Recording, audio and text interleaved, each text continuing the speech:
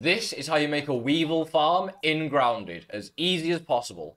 What you need to do is just grab a bunch of mushrooms from around the map.